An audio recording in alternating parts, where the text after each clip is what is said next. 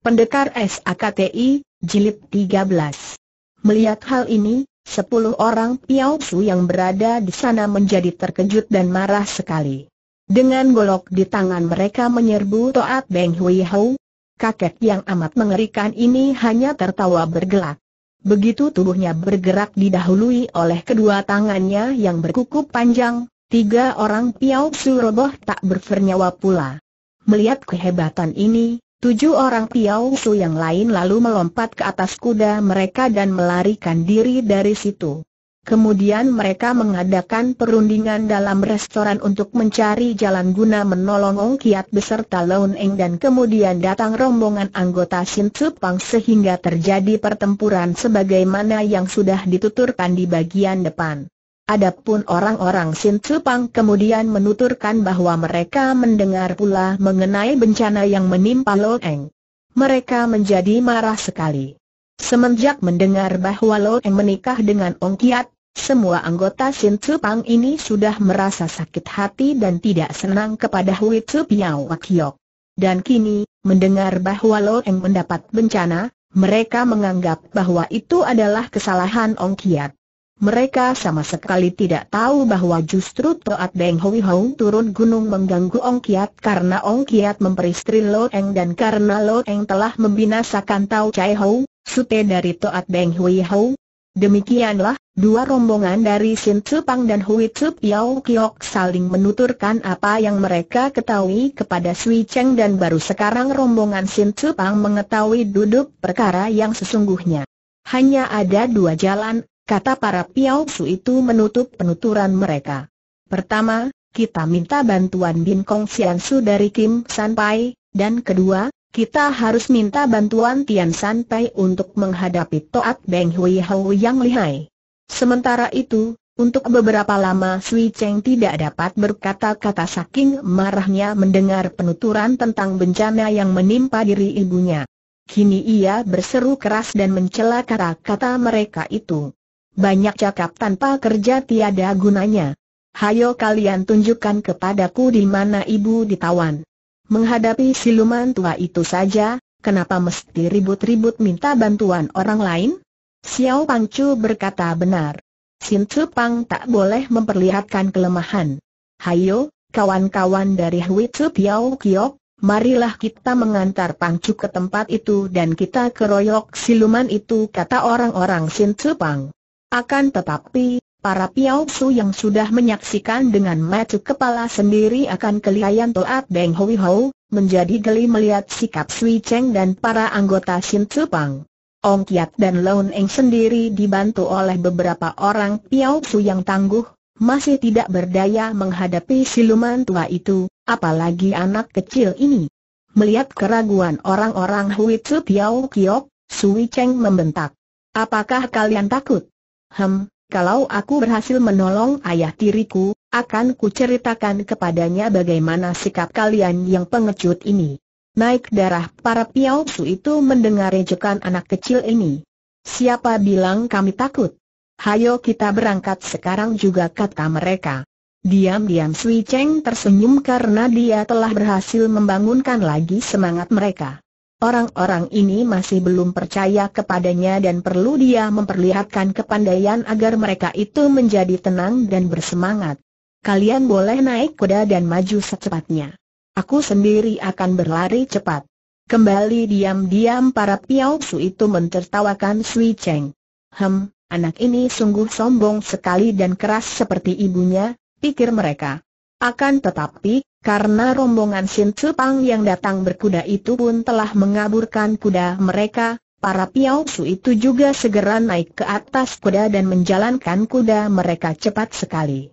Pada saat mereka telah keluar dari kota Chinleng, bukan main heran hati mereka ketika melihat seorang anak perempuan telah berlari-lari di depan kuda mereka. Ketika mereka memandang dengan penuh perhatian, tak salah lagi, Anak kecil itu adalah Bun Sui Cheng adanya. Melihat kehebatan ilmu lari cepat dari ketua mereka, orang-orang Sin Pang bersorak. Hidup Xiao Pang Chu. Adapun orang-orang Hui Tzu Piao Kiok amat kagum dan diam-diam mereka pun menaruh harapan mudah-mudahan ketua mereka dan istrinya akan tertolong dari tangan siluman tua itu oleh anak perempuan yang ajaib ini. Adapun Sui Cheng yang di depan, segera memberi tanda kepada orang-orang dari Hui Tzu Piao Kiok untuk menjadi penunjuk jalan karena dia sendiri belum tahu di mana adanya sarang Toat Beng Hui Hou. Diam-diam Sui Cheng merasa agak khawatir juga. Bukan khawatir atau takut menghadapi Toat Beng Hui Hou, sama sekali tidak. Anak ini keberaniannya malah melebihi ibunya. Yang ia khawatirkan adalah gurunya.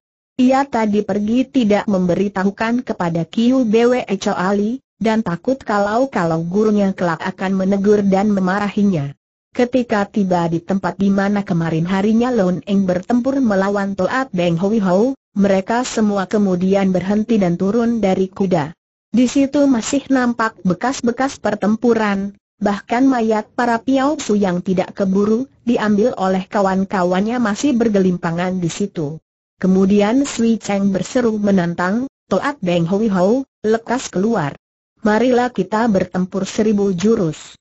Akan tetapi, biarpun berkali-kali ia berteriak, bahkan dibantu oleh para Piao Su bersama anggota Sin Pang yang memaki-maki, tidak terdengar jawaban dari iblis tua itu.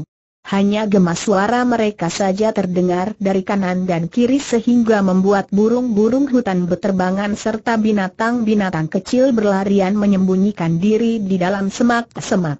Ke mana perginya Toat Beng Hui Huang? Dan bagaimana nasib Lo Eng dan Ong Kiat?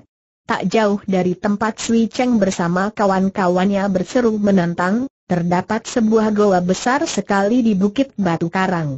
Goa inilah tempat sembunyi atau sarang Toat Beng Hui Hou dan ke dalam goa ini pula dia membawa Lon Eng dan Ong Kiat.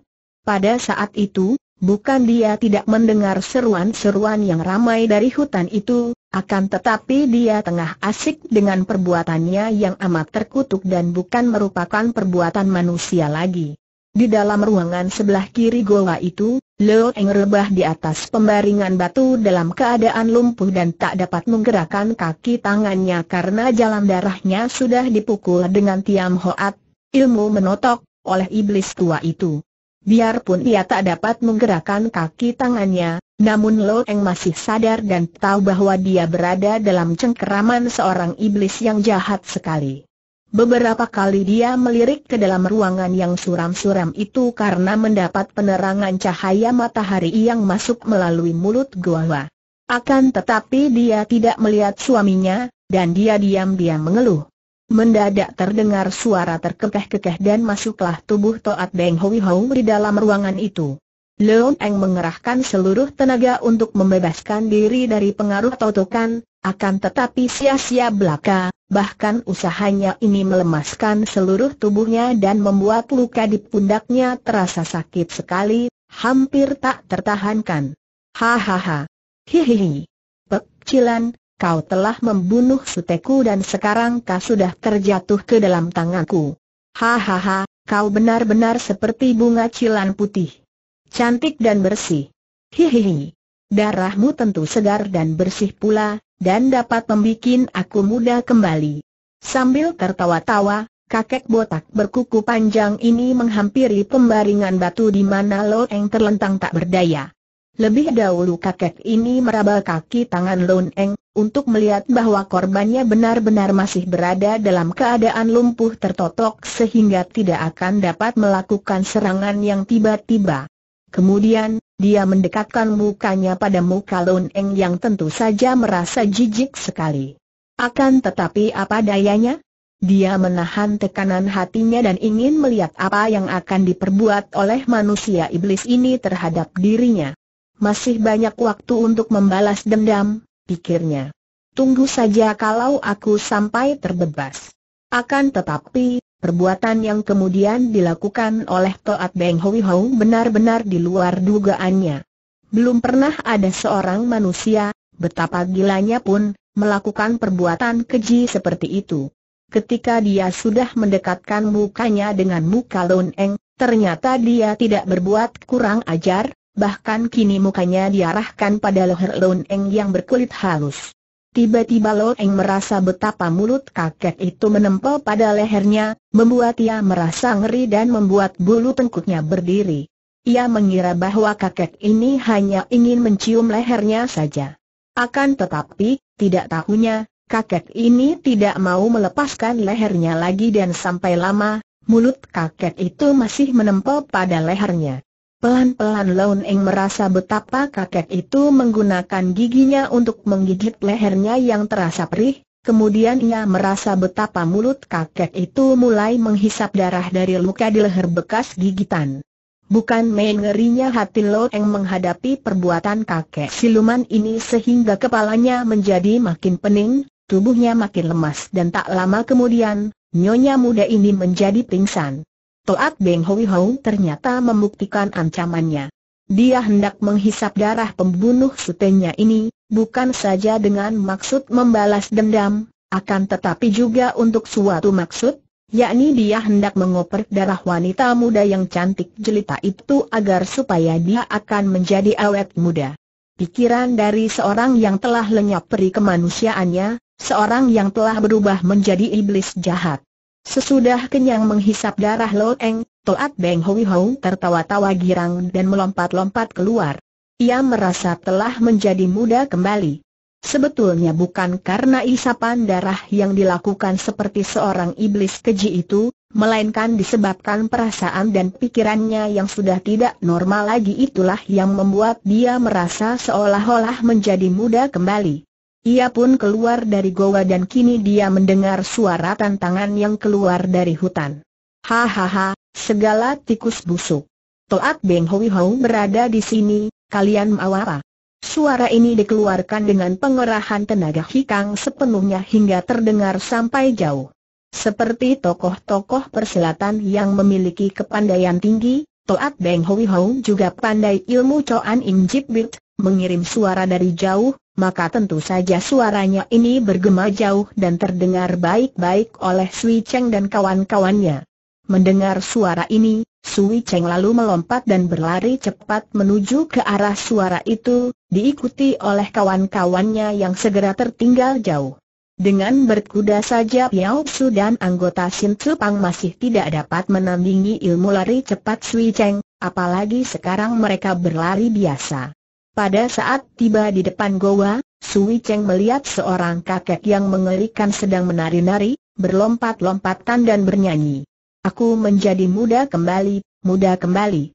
Hahaha. Toat Beng Hui Hou menjadi muda kembali. Untuk sesaat, Sui Cheng tertegun. Yang berada di hadapannya itu seperti bukan manusia lagi, melainkan seorang iblis yang mengerikan. Akan tetapi, Sui Cheng yang baru berusia delapan tahun itu tidak merasa takut sedikit pun juga. Dia bahkan melangkah maju dan menghadapi iblis tua itu dengan sikap tenang dan tabah. Eh haha, kakek tua miring otak. Toat Beng Hui Hou segera menghentikan tariannya dan memandang heran. Bagaimana ada seorang anak perempuan kecil berani memakinya? Kaukah Toat Beng Hui Hou yang berani menangkap ibuku dan ayah tiriku? Lekas kau lepaskan mereka, barangkali nona kecilmu masih dapat mengampuni dosa-dosamu. Toat Beng Hui Hou menggosok-gosok kedua matanya dengan punggung tangan. Lagi mimpikah dia? Ataukah benar-benar ada seorang gadis cilik yang manis dan elok berdiri dengan gagah dan berani serta mengeluarkan ucapan macam itu kepadanya? Kemudian ia tertawa bergelak. Jadi kau memang putri pecilan? Hahaha. Memang bunga cantik berbiji manis pula. Agaknya darahmu lebih segar daripada darah ibumu. Hahaha. Mari, mari. Kau hendak bertemu dengan ibumu bukan sambil berkata demikian, dia cepat menubruk hendak menangkap Sui Cheng, seperti laku seorang kecil menubruk seekor burung yang indah. Akan tetapi, Betapa heran hati iblis ini ketika tiba-tiba tubuh kecil itu lenyap dan tahu-tahu sebuah kaki yang kecil mungil dalam sepatu merah bersulam bunga, bahkan menendang mukanya. Toat Beng Hui Hou terkejut dan heran, cepat dia miringkan kepalanya, akan tetapi ternyata bahwa tendangan ini adalah tendangan pancingan belaka dan sebelum Toat Beng Hui Hou sempat mengelak, perutnya sudah kena ditendang oleh sebuah kaki lain yang sama mungilnya. Buk. Kaki Sui Cheng tepat mengenai perut, akan tetapi bukan Toat Beng Hui Hui yang roboh, melainkan tubuh Sui Cheng sendiri yang terlempar ke belakang. Akan tetapi, bagai seekor burung walet, gadis cilik ini dapat berpoksai, membuat salto, di udara dan turun dengan ringan sekali. Apabila tadi Toat Beng Hui Hou sampai terkena tendangan Sui Cheng, bukan karena dia kurang liai, akan tetapi karena kakek ini memandang rendah dan tidak mengira sama sekali bahwa bocah ini akan dapat melakukan gerakan sehebat itu. Pada saat ditubruk tadi, secepat kilat Sui Cheng melakukan gerakan melompat Ken Leong Sengtian, naga terbang naik ke langit, kemudian disusul oleh tendangan Jiliong TWI, tendangan sepasang naga, yang bertubi-tubi sehingga dia berhasil menendang perut lawannya. Akan tetapi, yang ditendangnya tertawa saja sedangkan dia sendiri terpental jauh. Bukan main kagetnya Sui Cheng dan anak ini maklum bahwa tenaga dan kepadaian lawannya betul-betul hebat sekali. Sebaliknya Toat Beng Hui Hou juga amat kagum menyaksikan kegesitan anak perempuan ini, namun kalau saja dia tahu bahwa anak ini adalah murid Kiu Bwe Echo Ali, tentu akan lenyap keheranannya dan terganti oleh kekagetan hebat. Anak manis, aku harus mendapatkan darahmu katanya berkali-kali dan dia menubruk lagi. Akan tetapi, berkat kegesitan dan ginkangnya yang luar biasa, Sui Cheng lagi-lagi dapat menghindarkan diri. Pada waktu itu rombongan Piao Su dan para anak buah Sin Pang sudah datang di situ dan mereka menonton pertempuran dengan mata terbelalak kagum. Anggota-anggota Sin Pang merasa bangga melihat Xiao Pangcu mereka itu berani menghadapi Toat Beng Hui Hou dengan tangan kosong. Melihat betapa kakek itu bagai seekor harimau buas yang menubruk ke sana sini, Sedangkan tubuh Sui Cheng bagaikan seekor burung walet berterbangan dan berkelit cepat sekali, mereka itu tanpa terasa pula meleletkan lidah saking kagum dan tegangnya. Kalau Toat Beng Hui Hou bermaksud membunuh Sui Cheng, tentu takkan sukar baginya. Biarpun untuk menjamah tubuh anak ini sulit sekali karena memang kegesitan Sui Cheng dapat mengimbangi kegesitan lawannya yang berjuluk harimau terbang, namun bila dia mau, dengan hawa pukulan tangannya, dia dapat merobohkan gadis cilik ini. Akan tetapi pada saat itu, Toat Beng Hui Hou mendapat pikiran lain. Tadi ia menghisap darah Lo Eng hanya karena hendak membalas sakit hati atas kematian sutenya dan ingin awet muda. Sekarang melihat Sui Cheng yang masih terhitung anak-anak, dia takut kalau-kalau dia berubah menjadi anak-anak pula apabila dia menghisap darah anak ini. Memang bodoh, gila, dan jahat merupakan satu keluarga, dan kakek ini telah mempunyai ketiga-tiganya. Aku tidak mau isap darahmu. Aku akan menangkapmu, memelihara dalam sangkar, kau burung cantik katanya berkali-kali dan kini dah menyerang dengan kedua tangannya. Alangkah herannya hati Sui Cheng ketika melihat betapa kini sepuluh jari tangan iblis tua itu seperti tidak berkuku lagi. Ternyata bahwa kuku-kuku jarinya sudah dapat digulung ke dalam. Berkali-kali dia mendesak hendak menangkap tanpa melukai tubuh Sui Cheng, namun hal ini benar-benar tidak mudah. Sui Cheng sudah mendapat gemblengan dari Kiu Bwe Echo Ali, dan dalam hal ginkang dan kegesitan, memang semenjak kecil gadis cilik yang lincah ini berbakat baik sekali. Ketika melihat betapa Sui Cheng terdesak, sambil berteriak-teriak nekat para Piao Su dan anak buah Sin Pang lalu menyerbu dengan golok di tangan. Baik anggota Sin Pang, perkumpulan golok sakti, maupun para Piao Su dari Hui Tzu Piao Kiok, ekspedisi golok terbang, adalah ahli-ahli senjata golok, maka sekarang belasan batang golok berkilauan dan bergerak-gerak mengurung Toat Beng Hui Hou. Otomatis Sui Cheng juga terkurung karena dua orang ini bertempur begitu cepatnya sehingga mereka seakan-akan menjadi satu bayangan besar. Para pengeroyok itu menjadi bingung. Mereka hanya dapat berteriak-teriak saja dan tidak berani sembarangan turun tangan, karena baru sedetik mereka melihat bayangan lawan, tiba-tiba bayangan itu lenyap dan berganti dengan bayangan Sui Cheng. Kedua orang ini berputaran, melompat ke sana kemari, bagaimana mereka dapat membantu Sui Cheng? Jangan bantu aku. Jangan datang mendekat Sui Cheng berseru, akan tetapi terlambat. Ketika tubuh Toat Beng Hui Hou mendadak menerjang ke arah para pengeroyok sambil meninggalkan Sui Cheng, terdengarlah jeritan berturut-turut dan empat orang pengeroyok roboh tak bernyawa lagi. Siluman tua, kau kejam sekali teriak Sui Cheng. Anak ini secepat kilat menyambar sebatang golok dari seorang Piao Su yang roboh, Lalu dia segera menerjang lagi ke depan dengan nekat, memutar golok sehingga merupakan segunduk sinar yang menyilaukan. Hahaha, burung cantik, kau harus menjadi peliharaanku berkata Toat Beng Hui Hong sambil menghadapi serangan-serangan Sui Cheng dengan tenang. Adapun para pengeroyok, ketika melihat betapa empat orang kawan mereka terbunuh dengan demikian mudahnya, serta mendengar perintah Sui Cheng, lalu mengundurkan diri dan menonton dari jauh saja. Mereka bukan merasa takut atau tidak mau membantu, akan tetapi mereka maklum sepenuhnya bahwa bantuan mereka itu sia-sia belaka dan tidak akan sanggup menolong, bahkan mereka pasti akan mengantarkan nyawa dengan cuma-cuma saja. Sekarang gerakan Sui Cheng tidak lagi secepat dan segesit tadi. Hal ini karena sekarang gadis cilik ini memegang sebatang golok yang besar dan cukup berat. Tadinya Sui Cheng sengaja mengambil golok karena dia hendak bertempur mati-matian mengadu jiwa, akan tetapi sebaliknya, dengan golok di tangan justru dia mendatangkan kerugian pada dirinya sendiri.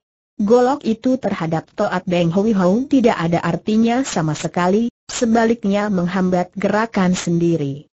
Hanya dalam beberapa jurus saja, masih sambil tertawa-tawa, Toat Beng Hui Hong telah berhasil menangkap pinggangnya dan sekali dia menotok jalan darah Tian Hu Hiat pada pundak gadis cilik itu, lemaslah tubuh Sui Cheng dan golok itu terlepas dari pegangan. Pada saat itu tampak menyambar beberapa sinar halus sekali. Sinar ini adalah bulu-bulu halus dan panjang yang sekaligus menyerang Toat Beng Hui Hou di beberapa bagian tubuhnya. Sebagian dari bulu-bulu halus ini melibat tubuh Sui Cheng dan sekali renggut, tubuh Sui Cheng sudah terlepas dari pegangan Toat Beng Hui Hou, kemudian melayang ke depan. Toat Beng Hui Hou terkejut bukan main menghadapi serangan ini. Dia telah terkejut dan jari melihat macam senjata yang menyerangnya, karena dari senjata ini saja tahulah dia bahwa yang datang menyerangnya adalah Kiu Bwe Cho Ali. Kalau ada rasa takut di dalam dada Toat Beng Hui Hou manusia siluman ini, maka rasa takut itu mungkin hanyalah tertuju kepada lima orang tokoh besar di kalangan Kang Ou, di antaranya ialah Kiu Bwe Cho Ali ini. Kiu Bwe Cho Ali, mengapa kau mencampuri urusanku, sedangkan aku selamanya belum pernah mengganggumu katanya penasaran. Ia cepat melompat ke belakang sebab jari menghadapi pecut sembilan bulu dari Kiu Bwe Choal yang kini telah berdiri di hadapannya sambil menggandeng tangan Sui Cheng yang sudah dibebaskan dari totokan pula. Diam-diam Kiu Bwe Choali mengerti mengapa muridnya tadi sampai kalah oleh Toat Beng Hui Hou.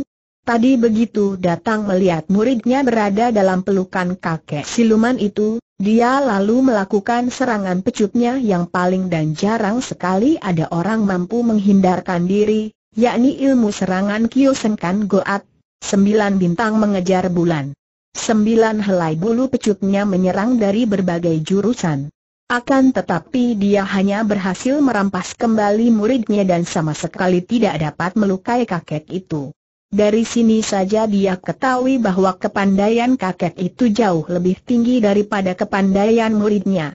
Siluman jahat, apa matamu sudah menjadi buta jawab Kiu Bwe Ali dan sepasang matanya mengeluarkan sinar membakar. Kau berani mengganggu murid ini, muridku, maka sekarang kau harus mati.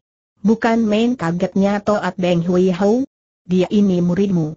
Ahaha, Kiu Bwe Ali, Sungguh mati aku tidak tahu bahwa dia adalah muridmu. Akan tetapi, bukankah aku tidak mengganggunya? Kalau aku bermaksud untuk mengganggunya, apakah sekarang ia masih dapat bernapas? Kau memang tidak melukainya, akan tetapi kau telah menghinanya, berarti kau sudah menghinaku pula. Maka bersiaplah untuk mati. Kembali Kiu Bwe Echo Ali menggerakkan pecutnya, melakukan serangan-serangan dengan cara yang ganas dan tidak mengenal ampun sama sekali. Memang watak Kiu Bwe Ali luar biasa ganasnya. Sekali ia turun tangan, ia tidak akan merasa puas kalau lawannya belum roboh binasa. Toat Beng Hui Hou bukannya orang lemah. Bangkit rasa penasarannya. Dia memang merasa segan bertempur melawan Kiu Bwe Ali dan tentu dia bersedia mengalah jika berurusan dengan orang yang dia anggap memiliki kedudukan lebih tinggi itu. Akan tetapi kalau dia didesak, dia terpaksa melawan. Kiu Bwe Ali, kau terlalu sekali. Kau kira aku Toat Beng Hui Hou takut menghadapi Kiu Bwe John Pianmu, pecut berbulu sembilan. Siapa peduli takut atau tidak, Aku hanya ingin kau mampus, habis perkara Kiu Bwe Ali mendesak terus. Toat Beng Hui Hou mengeluarkan suara nyaring dan kini sepuluh kuku jari tangannya telah mulur kembali, panjang-panjang, tajam dan runcing mengerikan. Ia cepat mengelak dari serangan lawannya lantas membalas dengan serangan pukulan yang mendatangkan hawa dingin dan berbau amis. Ternyata bahwa siluman tua ini telah mengeluarkan pukulan-pukulan maut disertai racun yang keluar dari hawa pukulan kukunya ini. Kalau tadi dia mengeluarkan ilmu ini, dalam beberapa jurus saja Sui Cheng tentu telah roboh binasa. Menghadapi pukulan-pukulan hebat ini, Kiu Bwe Ali pertama-tama mendorong tubuh muridnya sehingga Sui Cheng terpental dan terpaksa melompat jauh ke pinggir, Kemudian wanita sakti ini lalu memutar pecutnya sampai berbunyi mengaung dan kadang-kadang diselingi suara bergeletar dan dari pecutnya yang berekor sembilan ini keluar hawa yang menyambar-nyambar dan yang menolak hawa pukulan berbisa dari Toat Beng Hui Hou. Para Piao Su dan anggota Sin Tupang, semenjak tadi berdiri seperti patung. Munculnya seorang tokoh yang memegang cambuk ini saja sudah membuat mereka heran sekali, karena tak seorang pun di antara mereka melihat kedatangannya. Kemudian Ker pecut toko itu merampas Sui Cheng dan kemudian mendengar pula bahwa toko ini adalah Kiu Bwe Choal yang tersohor dan menjadi guru Sui Cheng, mereka makin terbelalak. Kini, sesudah pertandingan antara Toat Beng Hui Hou dan Kiu Bwe Choali berlangsung, mereka lalu menjadi bengong dan melongo. Menurut pendapat mereka, pertandingan ini bukan pertempuran orang-orang pandai, karena keduanya berdiri tidak pernah berpindah dari tempat masing-masing dan hanya kedua tangan mereka saja yang bergerak-gerak luar biasa cepat ke depan. Hampir saja ada yang tertawa menyaksikan pertandingan ini, karena gerakan kedua orang tua itu seakan-akan mereka sedang membadut. Akan tetapi Sui Cheng menonton dengan wajah penuh ketegangan.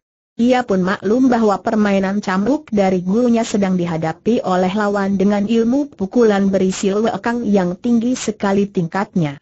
Pada waktu dua orang tua itu sedang bertempur dengan mengandalkan hawa pukulan lekang, maka mereka hanya berdiri berhadapan dan saling memukul dari jauh, sama sekali tidak mengubah kedudukan kaki. Akan tetapi, tak beberapa lama kemudian, Toat Beng Hui Hou terpaksa harus mengakui keunggulan lawannya, oleh karena bulu-bulu pecut Kiu Bwe Ali makin lama semakin mendesaknya, makin lama semakin dekat serangan ujung cambuk itu, terus mendesak hawa pukulannya yang hendak menentangnya. Ia maklum bahwa kalau sampai ujung cambuk itu mengenai tubuhnya, sukarlah baginya untuk menyelamatkan diri lagi. Dia cukup mengenal akan kelihayan totokan ujung cambuk di tangan Kiu Bwe Ali, seorang di antara tokoh besar dunia persilatan. Cukup, siluman betina.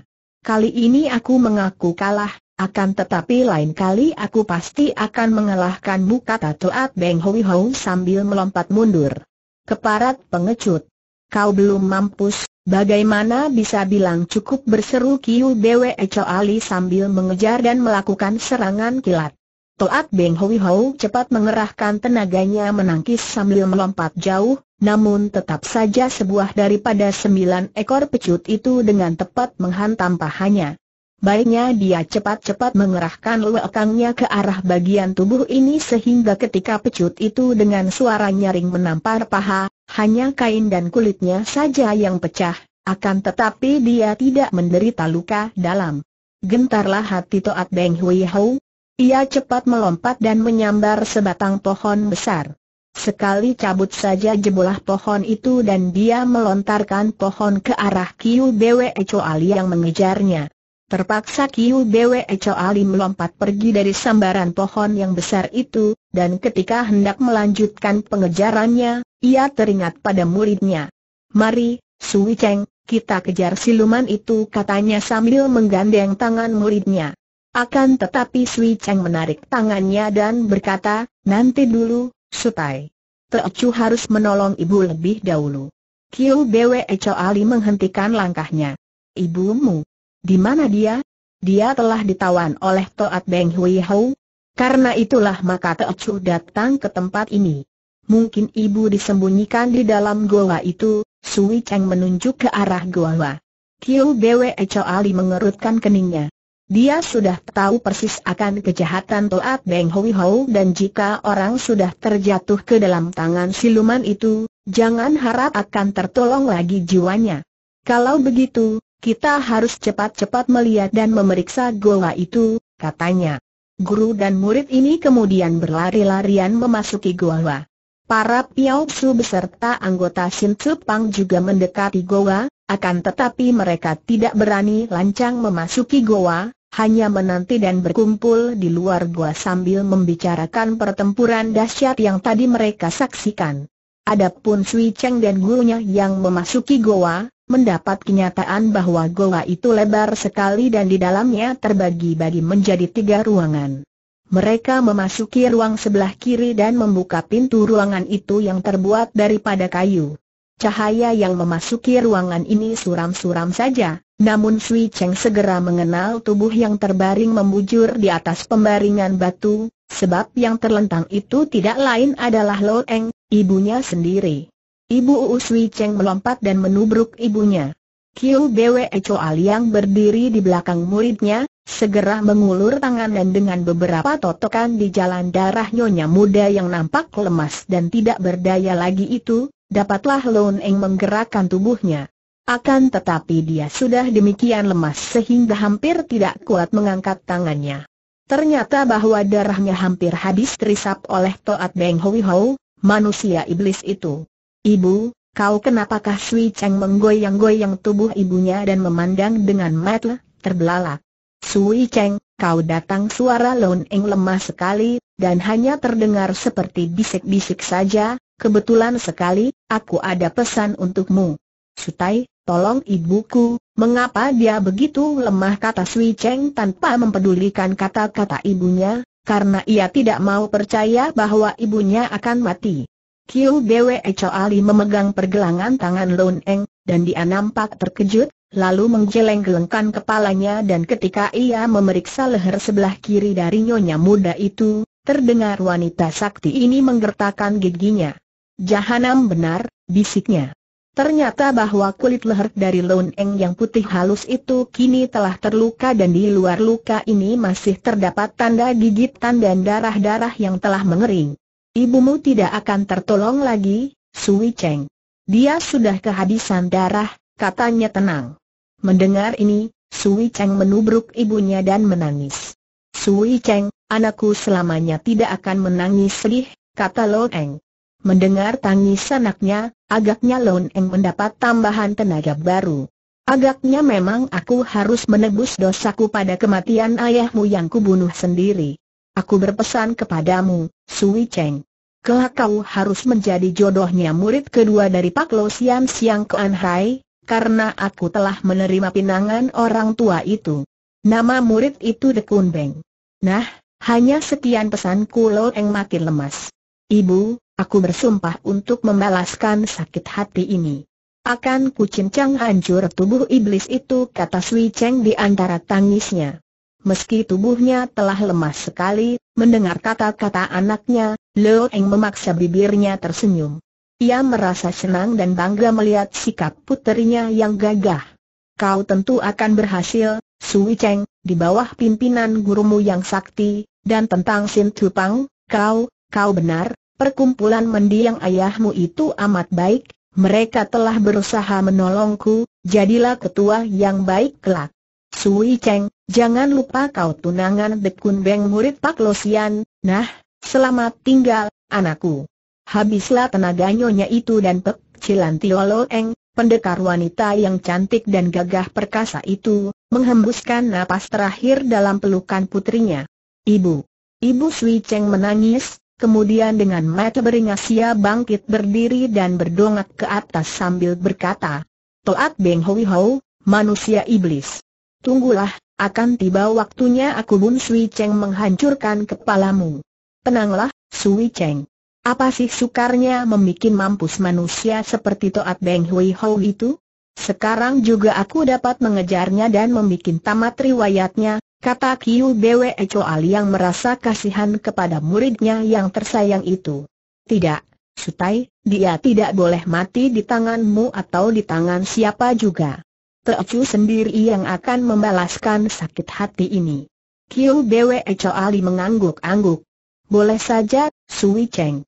Asalkan kau belajar dengan rajin, tak lama lagi kau akan dapat melaksanakan cita-citamu ini.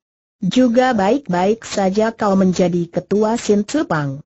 Hanya aku merasa agak menyesal mengapa ibumu demikian tergesa-gesa menjodohkan kau dengan murid Pak Losian Siang Kuan Hai.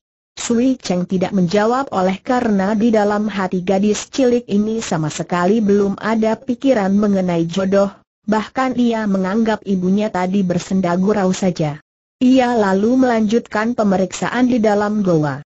Di kamar lainnya mereka mendapatkan tubuh Hong Kiat, juga sudah tewas dengan tubuh penuh luka-luka. Walaupun ketika Ong Kiat masih hidup, Sui Cheng tidak suka kepada Piao Su ini karena sudah mengawini ibunya, namun kini melihat Piao Su muda itu yang telah menjadi suami ibunya tewas dalam keadaan mengerikan dan menyedihkan, ia lalu berlutut pula dan berkata perlahan dengan janji bahwa dia akan membalaskan sakit hati mendiang ayah tirinya ini. Lalu Sui Cheng dan gurunya keluar dari goa, disambut oleh para anggota Sin Pang dan para Piao Su yang memandang penuh hormat. Saudara-saudara sekalian, ibu beserta ayah sudah tewas di tangan iblis itu. Kelak aku sendiri yang akan membalaskan sakit hati dan membunuh iblis keparat itu, supaya kalian semua bertenang hati. Sekarang, kalian lakukanlah tugas kewajiban masing-masing, dan tunggu hingga aku datang untuk memimpin Sin Tsupang. Adapun para Piao Su, terserah, hendak menjadi anggota Sin Tsupang baik-baik saja, mau melanjutkan pekerjaan sebagai Piao Su pun boleh. Hanya pesanku, baik Hui Tsu Piao Kiok maupun Sin Tsupang, harus bekerja sama dalam segala hal. Ingat bahwa akulah yang mewarisi keduanya dan aku pula yang bertanggung jawab atas segala sepak terjang kalian. Para anggota Shin Pang dan anggota Hui Tzu Piao Kiok menjadi sedih sekali mendengar betapa ketua mereka telah tewas, akan tetapi melihat sikap dan mendengar ucapan Sui Cheng yang benar-benar gagah dan bersemangat, yang sesungguhnya mengherankan sekali keluar dari mulut anak yang masih demikian hijau, terbangunlah semangat mereka dan serentak menyatakan setuju. Jenazah Lon Eng dan Ong Kiat diurus dan dirawat baik-baik. Setelah memberi hormat terakhir kepada makam ibu dan ayah tirinya, Sui Cheng lalu melanjutkan perjalanannya mengikuti gurunya. Sejak saat itu Sui Cheng makin tekun belajar dan semua ilmu kepandaian dari Kiu Bwe Chow Ali direnggut dan diteguknya seperti seorang khasan minum air segar. Juga dia dan gurunya sangat tekun mempelajari ilmu silat aneh yang mereka dengar dari Tufu yang membacakan kitab Im Yang Butek Chin Keng. Sebagaimana diketahui, isi kitab ini sebenarnya palsu, bahkan di dalamnya terkandung pelajaran ilmu silat dan latihan tenaga dalam secara terbalik. Kalau sekiranya Sui Cheng sendiri yang melatih diri menurut bunyi kitab ini, tentu ia akan mendapatkan kepandaian palsu yang membahayakan tubuhnya seperti halnya Kuan Chu. Akan tetapi, ia berada di bawah asuhan Kiu Bwe Cho Ali, seorang tokoh Kengou yang sudah amat tinggi kepandaiannya. Maka tentu saja Kiu Bwe Ali tidak dapat tertipu dan nenek yang sakti ini tahu bagaimana harus melatih ilmu silat aneh ini tanpa merusak tenaga sendiri. Cara melatihnya bukan seperti yang dilakukan oleh Lu Kuan Chu, yang menjiplak begitu saja dan menelan semua pelajaran tanpa dipilih lagi.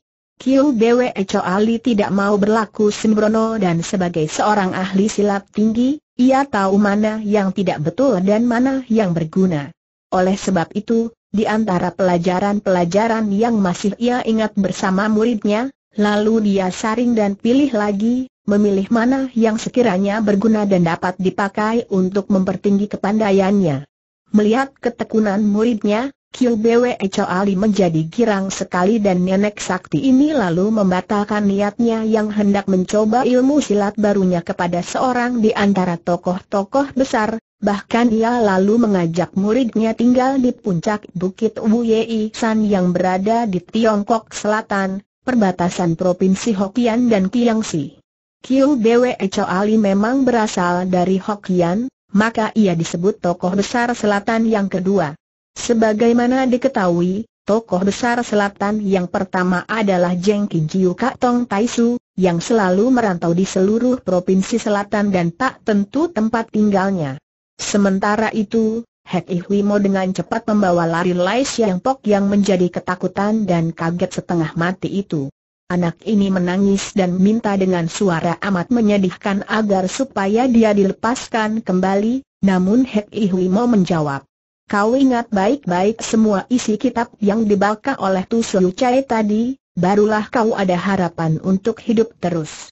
Mendengar ini Siang Pok pun mengerti bahwa kakek yang menyeramkan ini benar-benar membutuhkan bantuan untuk mengingat bunyi isi kitab tadi, maka karena maklum bahwa hal itulah satu-satunya jalan baginya untuk dapat menolong diri sendiri dari bahaya, dia lalu mengumpulkan seluruh ingatan dan perhatiannya kepada bunyi isi kitab yang aneh itu. Lai Xiang Pok adalah seorang anak yang amat cerdik luar biasa dan semenjak kecil dia telah digembleng oleh ayah bundanya dalam ilmu kesusastraan.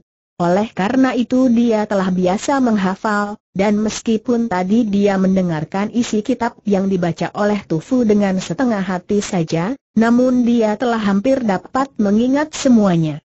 Setelah jauh dari kota Kaifeng, Hek Ihwimo menurunkan Lai Xiang Pok dan berkata, Coba kau sekarang mengulang kembali isi kitab itu, hendak ku dengar apakah kau ada gunanya bagiku atau tidak.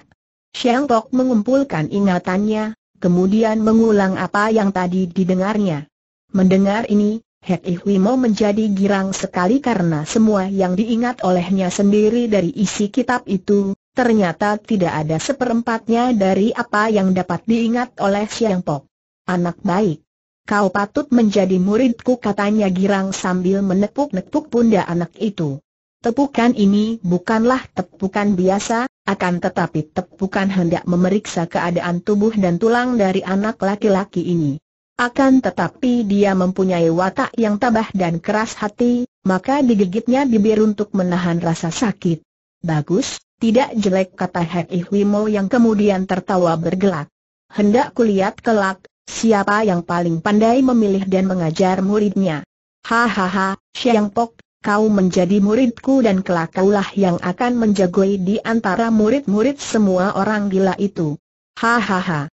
Xiang Pok tidak mengerti apa yang dimaksud oleh kakek hitam ini, akan tetapi diam-diam ia menjadi girang juga. Sering kali anak ini membaca cerita-cerita kuno tentang pendekar dan pahlawan, Kemudian diam-diam dia mengagumi sepak terjang dan kegagahan para pendekar itu. Sekarang mendengar bahwa dia hendak diambil murid oleh kakek yang telah ia saksikan sendiri kelihayannya, tentu saja dia menjadi girang. Cepat dia menjatuhkan diri berlutut di depan Hek Ihwimo sambil berkata, Segala petunjuk dari suhu akan teocu pelajari dengan rajin. Bagus, mari kita cepat pulang agar kau bisa segera berlatih kau sudah tertinggal jauh oleh murid-murid mereka itu. Pulang? Ke mana, Su? Hahaha, tentu saja ke Tibet, ke barat. Hayo sambil berkata demikian, Hek Ihuimo menyambar tubuh muridnya. Sekejap kemudian terpaksa Siang Pok meramkan kedua matanya karena angin bertiup kencang sekali, membuat kedua matanya pedas ketika suhunya membawanya lari luar biasa cepatnya seakan-akan terbang. Walaupun Hek Ihwimo melakukan perjalanan cepat sekali dan jarang berhenti di jalan, namun dia harus menggunakan waktu sebulan lebih baru tiba di Tibet, daerah barat yang jauh itu. Xiang Tok diterima dengan penuh penghormatan dan juga perasaan iri hati oleh orang-orang di barat, karena bila menjadi murid Hei Huimo, selain dianggap mendapat kehormatan tinggi, juga dianggap sebagai yang menerima kurnia besar. Namun Xiang Tok tidak mempedulikan semua itu dan mulai saat gurunya menurunkan pelajaran ilmu silat kepadanya, dia belajar dengan amat rajin dan tekun sehingga boleh dibilang lupa makan dan lupa tidur. Melihat ini, Hei Huimo semakin sayang kepadanya, karena makin besar harapan di hatinya, murid ini kelak akan menjunjung tinggi namanya dan akan mengalahkan semua murid tokoh-tokoh besar yang sudah berlatih lebih dulu. Seperti juga Kiu Bwe Echo Ali, Hei Huimo yang bernama Tian Seng Hwasyo ini, jarang sekali keluar dan bersembunyi saja di kelentengnya, memberi latihan-latihan kepada Lai Siang Pok, karena seperti juga Kiu Bwe Ali, dia ingin mempelajari isi kitab Im Yang Butek Chin Keng yang didengarnya dari Tufu, kemudian kalau sudah mempelajarinya dengan sempurna, bersama muridnya dia akan mencari tokoh-tokoh lain untuk ditantang Pibu.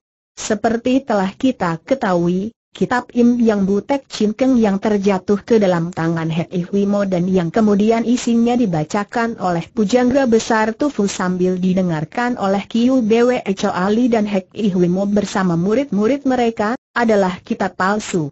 Akan tetapi biarpun palsu, kitab ini ditulis di zaman dahulu oleh orang yang pandai dan hafal akan isi kitab aslinya, maka biarpun palsu, isi kitab ini merupakan pelajaran yang aneh dan luar biasa sekali. Bagi orang yang tidak memiliki ilmu silat tinggi, tentu saja kitab ini tidak ada artinya sama sekali dan jika orang biasa melatih diri meniru pelajaran isi kitab ini, bukannya mendapat kemajuan dan kepandaian tinggi, malah tubuh orang itu akan menjadi rusak. Akan tetapi sebaliknya, Apabila yang mendengarnya adalah orang-orang berilmu tinggi seperti Hak Ihwimo dan Kiu Bwe Ali, mereka dapat menangkap serta menerima isi kitab untuk disaring kembali dan untuk dijadikan bahan menyempurnakan kepandaian silat mereka. Oleh karena inilah, maka hasil daripada mendengarkan isi kitab itu bagi Hak Ihwimo dan Kiu Bwe Ali sangat jauh berlainan. Pelajaran yang mereka dengar itu lalu diolah dan disaring sesuai dengan ilmu kepandaian yang sudah ada pada mereka, maka tentu saja tidak sama. Bagi Kiu Bwe Echo Ali, pelajaran dari Im Yang Butek Chin Keng yang telah didengarnya dari Pujangga Tufu itu mendatangkan kemajuan yang hebat sekali dalam hal ilmu Wekang, yakni penggunaan tenaga dalam. Walaupun pelajaran Luekang di dalam kitab itu tidak karuan dan sengaja dibolak-balikan oleh penulis kitab palsu, namun sungguh kebetulan sekali perhatian Kiu Bwe Echo Ali dan muridnya, Sui Cheng, justru dikerahkan ke jurusan ini. Dengan kecerdikannya yang luar biasa, Kiu Bwe Echo Ali bertekun mengupas pelajaran ini dan akhirnya dia pun dapat menemukan ilmu aslinya dengan jalan meraba-raba serta menduga-duga. Ia lalu memperbaiki dengan caranya sendiri, sesuai dengan kepandaian yang telah dimilikinya, sehingga akhirnya dia pun mendapatkan ilmu silat berdasarkan pelajaran Im Yang Butek Cinkeng yang seluruhnya menggunakan tenaga luakang yang hebat luar biasa. Sebaliknya, setelah mendengar dan mempelajari isi kitab itu, Hei Huimo mendapatkan gerakan-gerakan istimewa yang sesuai benar untuk menyempurnakan ilmu tongkatnya. Ilmu tongkat Hei Huimo, yakni permainan tongkat Liong Tau Tung, tongkat kepala naga, memang telah terkenal dan lihai sekali. Kini, setelah dia mempelajari isi kitab itu, dia mendapatkan sesuatu yang cocok sekali dan yang dapat dia olah sedemikian rupa sehingga ilmu tongkatnya menjadi maju dengan pesat dan kini merupakan ilmu tongkat yang aneh dan luar biasa. Jika biasanya dia mainkan dua senjata, yakni tongkat Liong Tau Tung di tangan kanan dan tasbih di tangan kiri, di mana tongkat menjadi alat penyerang dan tasbih sebagai alat penangkis, kini dengan hanya mainkan tongkatnya saja kelihayannya sudah berlipat kali melebihi sepasang senjatanya itu. Sebab itu dia lalu tekun memperdalam kepandaiannya bermain tongkat yang kelak akan diturunkan kepada murid tunggalnya, yakni Lai Siang Pok. Sebetulnya, Kalau orang mengetahui isi daripada kitab Im Yang Butek Cinkeng yang asli, orang takkan merasa heran mengapa isi kitab yang dibaca Tufu itu mendatangkan dua macam ilmu jauh berlainan bagi Hak Ihwimo dan Kiu Bwe Ali. Kitab asli Im Yang Butek Cinkeng memang merupakan raja kitab ilmu silat di dunia ini. Di situ terdapat pelajaran pokok dan besar daripada segala macam gerakan ilmu silat di atas dunia. Ilmu silat dengan tangan kosong maupun dengan senjata yang bagaimanapun juga, kesemuanya berpokok dan berdasar sama, yakni berdasarkan menyerang dan bertahan. Adapun intisari daripada dua gerakan ini memang menjadi isi dari Im Yang Butek Cinkeng yang asli.